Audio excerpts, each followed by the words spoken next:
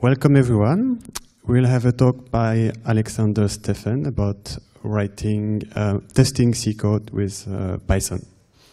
Please welcome Alexander.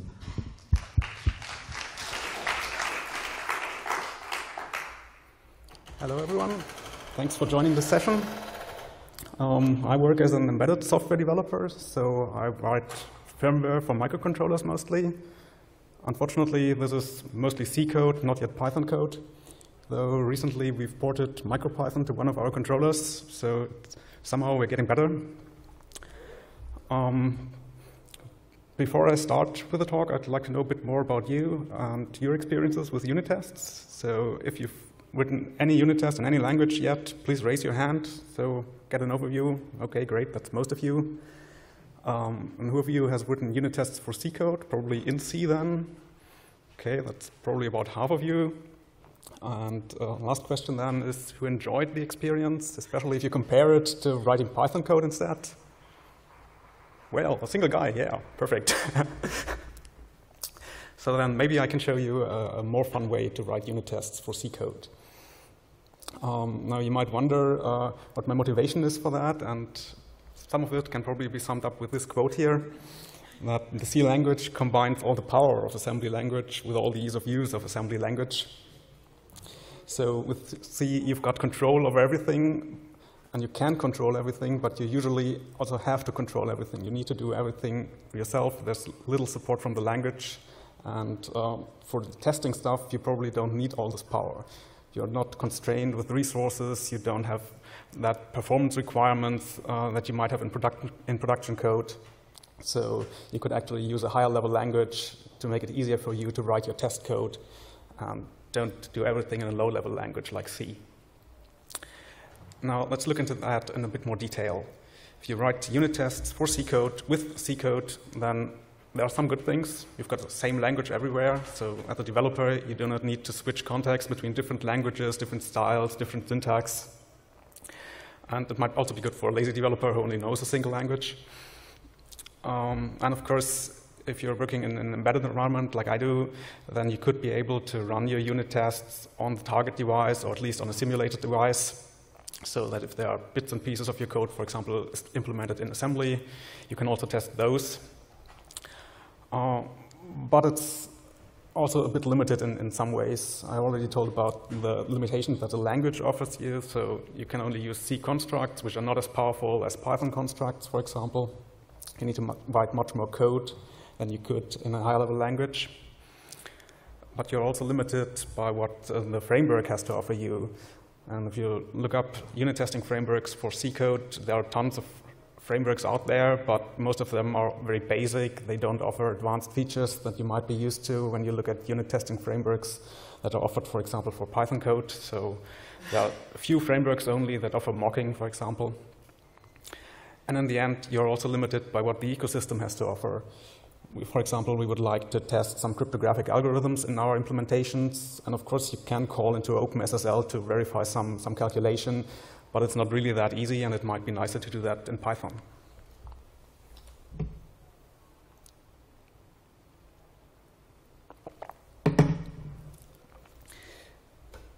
Now, maybe we can do better than that, and I've prepared a few, a few examples to show you how unit testing C code with Python would look like. So the first example is the most basic thing I could think of We've got a single function in our C code that just adds two integers and returns the result. So this is the header file, the public interface that we want to unit test. And this then is the implementation of that function. It just adds the numbers and returns the value. And if you write a unit test for that, it could look like this.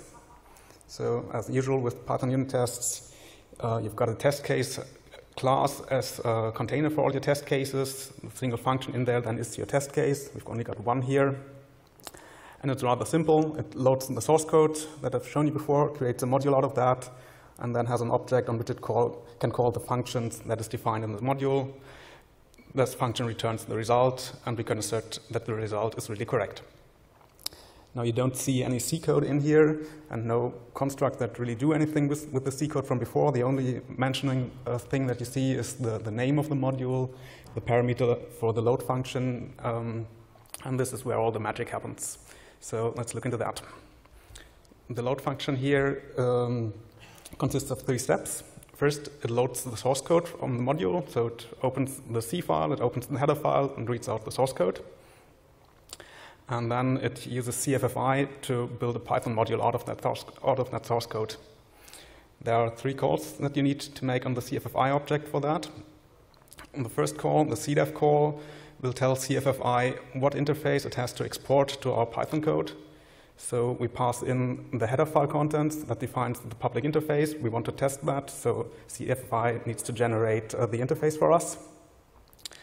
Then with the second call, we need to tell CFFI about the implementation of the function. So we pass in the source code here. And the last step then is for CFFI to actually build the module that we want to have. So it runs a C compiler in the background, builds the module, and in the end, as the last step, we can import that module and return it to our test case. And that's really all you need to run this example that I've shown you before. Now I've got three more examples that all build on this implementation, so I'd like to quickly ask whether there are any questions for this example already, so that you can better understand uh, the following examples.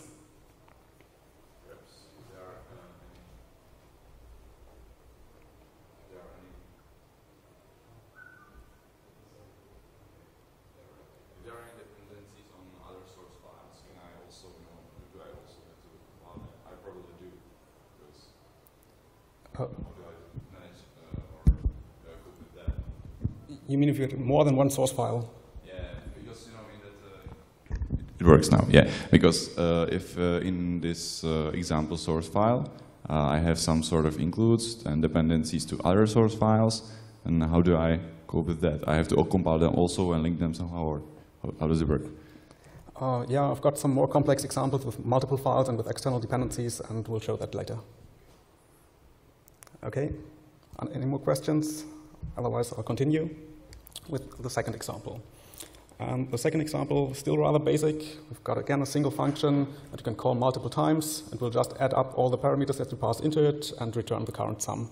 This is its interface, and this, again, the implementation. So now we've got a global variable that we use to sum up everything. The function just adds to it and returns the current value. And the unit tests now look like this. To make matters a bit more interesting, I've implemented now three unit tests, not only one and so that I do not have to repeat this load call in every test case again. I use the setup method. This gets executed before each test case is run. It will load the module for the test case, and then the test case can access the module just as before. Can call the function there, assert that the results are correct. But if I were to run this test case with the load function that I've shown you before, it wouldn't work and why wouldn't it work? Well, in the source code, there's this global variable there. And the load function that we had before, it just imported the module at the end. And if you know a bit about how importing works in Python, those imports are cached. So if there are multiple test cases running, the first one will actually import the module, initialize the global variable. All the other test cases will just just get the cached import back and it won't be initialized again. So the assumption of the test cases that the sum always starts with zero uh, doesn't hold here, and so the test cases would fail. Now, there are several solutions to this. Um, I'm just going to show you the, the, simplest one, and that looks like this. The load function is still the same, just the first line with the comment has changed or got added.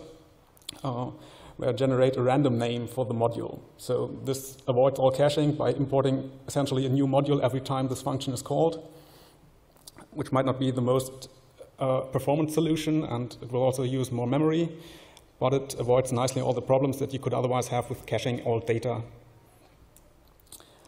Um, for this, I use the, the UID module, which just generates a random unique ID and appends that to the file name, which is then used as, as the module name. All the other code in here is the same as before, so each test case can still load the module and gets a fresh copy every time. You could also implement that uh, in a different way and when, you have, when you've imported the module, just reinitialize it every time, but that would, make, would take more code, so I don't show it here. Okay, then example number three. And here we're getting to multiple files now. Since all the other examples so far were very basic with just a single C file and a single header file, Uh, now we take at least a second header file, and we want to do some mathematics with complex numbers, so we define our own structure for that. That has just two fields for the, the two parts of a complex number, for the real part and the imaginary part, and we have that in one header file.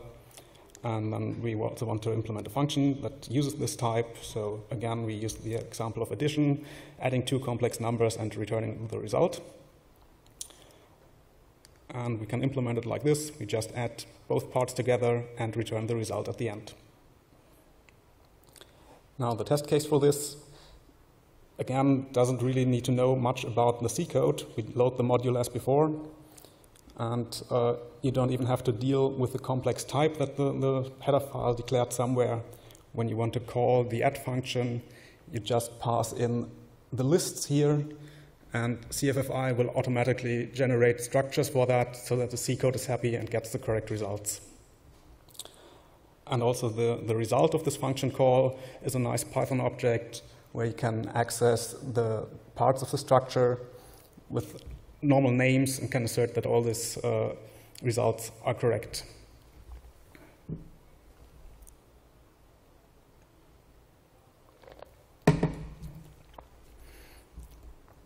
But again, for this example to work, we can't use the, the previous implementation of the load function because the previous implementation, it just looked at the source file and the header file of the module that we want to test. It doesn't really know about the other header file that we also need. Now, if you remember the source code, you could say, yeah, well, the, the other header file got included into the module's header file, so it should be present there. But unfortunately, CFFI cannot deal with these include statements. So what we need to do is we need to run some kind of preprocessor, like the C preprocessor, over the source code, so that there are no more include statements in there, no other directive that CFFI doesn't understand. Otherwise, it would throw an error. And this is done with this preprocess call in here. Again, there are multiple ways you could implement that. Uh, I've chosen to just run the GCC preprocessor over the source code and get back the results. So at the end, I've got one large string that contains the contents of both header files, and CFFI is happy with that. Now, for the last example, um, it gets even a bit more complex because now we, we have some external dependencies. Uh, in this case, you can imagine you're, uh, you want to program a microcontroller, and maybe the vendor of the microcontroller provides you with a nice library like this here, where you can uh, read GPIOs using simple function calls, and the vendor has chosen to implement different functions for each GPIO that you can access. So he provides you with a library that has this interface here. But maybe in your code, you'd rather like to use this interface. You only want a single function call and a parameter to select the GPIO that you're interested in. Now, you can implement that in your own code. You just look at the parameter, call the appropriate function, and if you get a parameter that you cannot deal with, you return some kind of error code. And now this is the code that we want to cover with our unit test. We don't want to test the vendor's library, so we don't want to use the, the read GPIO 0 or 1 calls here. We probably even couldn't use them in the unit test because they might access some registers of the microcontroller that aren't there in our test environment. So we somehow need to replace those calls uh, with our mock functions so that we can run a test case that knows what the GPIO values are. Um, the test case for that looks like this. Um, the first change that you'll notice to the previous implementations is that the load function now returns two values, not only the module as before, but also an FFI object. That's part of CFFI's interface, and we use that in the first test case to replace the C function that we don't want to use with a Python implementation. So we define a function that has the same name as the C function we want to replace, and we tell CFFI, hey, when this C function gets called, please use this Python implementation instead. Don't use a C implementation that you might find somewhere. And so the, the uh, Python implementation just can return a fixed value. Then the test case can call the function that we want to test with the correct parameter and see that the value that it, that it defined before is returned in the end. And the second test case for the GPIO number one, it does the same thing, but using a different construct. So in this case, uh, we don't want to really define a function. but we want to use a mock, a mock object like you might be used to from the unit test library, and you can do just the same with it. You configure your mock object to return a value when it's called, and then tell CFFI, hey, this is not a function, but just something else that you can call. Use that in place of the C function. And then the test case again works, can call this function, and at the end you can also use the uh, assert methods that are provided by the magic mock function. And in this case, again, we need to modify the load functionality. This is, again, for comparison, the old implementation. And we need to add some more code to that for this example to work. Um, there's three changes here, all again marked with a comment. The first change is that it's not sufficient anymore to just process the header file for the module, but we actually need to process all the header files that are included in this module. So it just uses a regular expression to collect all the include statements, then runs that through a preprocessor, and as a result gets one large string again that contains all the include statements, all the, all the contents of the include files of our module. And the main work then is done in the next two lines, uh, where we need to tell CFFI which functions we want to replace with Python code and which functions are implemented in our C code. So the first line just goes through the source code and looks for all the function definitions so that we know which functions are implemented by our source code. And the second line then goes through all the includes that we have, looks for all the function declarations in there, and whenever it finds a function that is not implemented in the source code, it will tell CFFI, hey, please insert a Python implementation in here that, that we can replace later. Uh, the functionality is all there in CFFI. We just need to prefix the function declarations with this extern Python plus C um, statement. Then CFFI will know, okay, I need to generate some code for that. And this will already make the compiler happy. It will find a reference for this function, so it can call it, and we can later replace it with Python code. And in the end, the last change is, as I said before, that we now need to return this FFI object also from the load function so that the test cases can tell CFFI about the, the implementations that it wants to use. Now I'll show you a bit more detail how this step in the middle works, where we um, analyze the source code to find the function definitions. This is based on pycparser, and this is the first part that collects all the function definitions. So pycparser will analyze your source code and will build an abstract, abstract syntax tree out of it. So you can later walk this tree with a class that's already provided. And whenever you hit a function definition, this visit function here is called. It will get the node out of the tree and can just ask this node, okay, what is the name of the function? It will add this to a list. And so in the end, once it has walked through the whole tree, you've got a list of all the, the functions that are implemented in the source code, of all the names of the functions there. And this is then used in the second part, again based on, on the pycparser module, um, where we actually parse all the include contents into an abstract syntax tree and then tell pycparser to regenerate the corresponding C code from that so that we can modify some bits of that. And pycparser already has support to regenerate code from the tree, and we just hook into that, and whenever we see a declaration for a function, this is then, again, the visit function for declarations.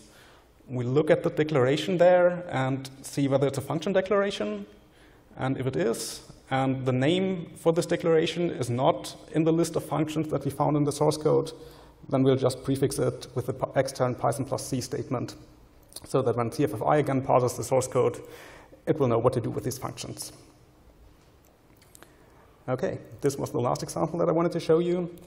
So to sum up, um, I want to talk quickly about some of the drawbacks that this approach might have if you're used to other approaches.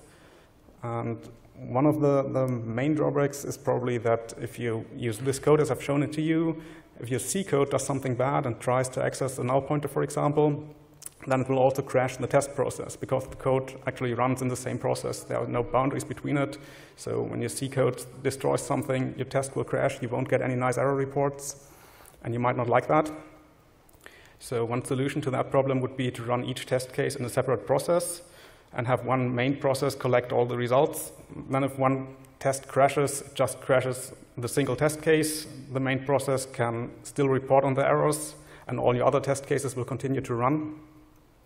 This might add a little overhead, of course, because now you have multiple uh, processes running that uh, yeah, need, need some more computing time, but at the same point, at the same time, you can also run your tests in parallel. So if you've got multiple cores, it might actually be faster in the end than running everything in, in serial. And another big problem might be that debugging your test cases gets harder now because you've got a Python process that calls some C functions that again might call some Python functions. And where really do you debug that? You can attach a debugger to your Python test cases, but that won't help you much once you enter C land. You won't see what, what the C code does there. Or you can attach a C-level debugger so that you can see what your test or what your implementation does, but then you have to deal with all the, the C calls that, that are done by the Python interpreter internally and that you need to skip somehow. So it would be nice, of course, to have some maybe better integrated solution here, some combination of two debuggers, one for the Python side, one for the C side, that smoothly hand over control once you uh, enter the, the other part. Or one could also argue that since we are talking about unit tests here, if you really need to debug your unit tests, maybe you could also think about simplifying your code, simplifying your unit tests, or even the implementation, so uh, that you don't need to debug them in order to find a problem, but so that you've got unit tests that really can tell you where the problem is when something breaks. Um, but to end on a positive note, if you're going to remember something from this talk, I'd like, to, I'd like you to remember that writing the test cases is really simple, and no matter how complex your C code looks like, you've seen all the examples that I've shown you, the test cases look pretty much the same, because all the complexity that you need to care about is hidden inside CFFI and the wrapper code that I've shown you here. As a test case author, you don't really need to deal with that. You just can concentrate on writing your test cases, and you need to solve the hard parts only once, have it in a generic part of the code, and never look at that again as long as it works. So thank you for your attention.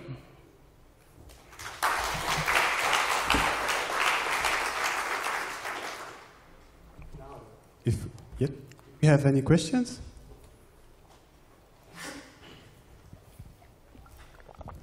And uh, can you run tests from C, uh, from Python on a compiled uh, library, for example, like from a built binary code? Can you import that in CFFI? Yeah, that is one of the, the, main use cases actually for CFFI, that you can interface from Python to existing libraries so that you can build a nice Python interface for, for libraries that already exist without needing to reinvent them. So that's, of course, possible. This approach was more meant to test the source code, so it passes in the source code, not a library. But of course, you can also tell it here, use the existing library. And could, you could probably also do, do this. Uh, could you do this trick with mocking, or like uh, put uh, uh alternative function or mm, function definitions in a loaded shared object or something like that? Do you think that this is possible? Well, that depends. If the function that you want to mock is not part of the library, but would be part of another library, and you don't link against that library, then it should be possible, because then you have to uh, insert your own implementation of that function anyway for it to compile. But if you want to mock a function that's part of the library that you, you want to test, and it's implemented in there, you can't really replace it because it's part of the same binary, and the code will just call the function in there. You can't really take it out and insert another implementation there. Okay, so you cannot switch out the binary uh, code. Okay.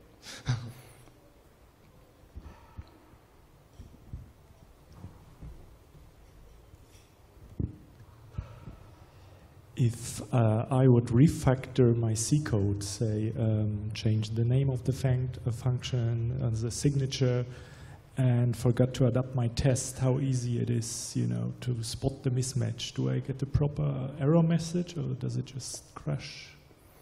No CFFI will tell you if you want to call a function that doesn't exist, that, well, there's no, no such attribute on the module. You'll get the usual error codes for that.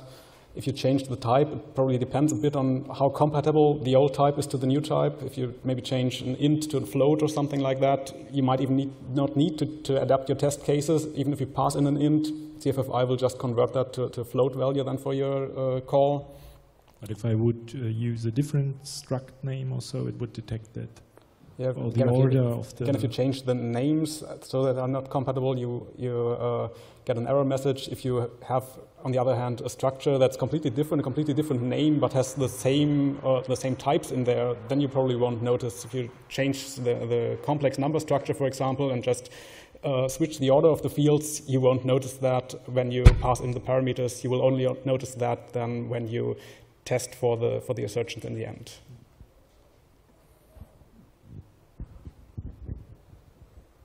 No more questions? Yes?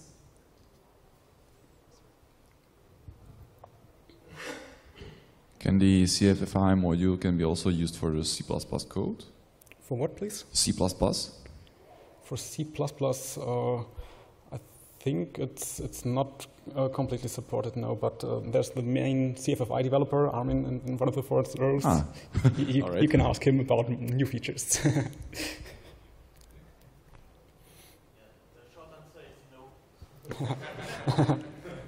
Short answer is no. Okay, thank you for your attention and thank you, Alexander, again.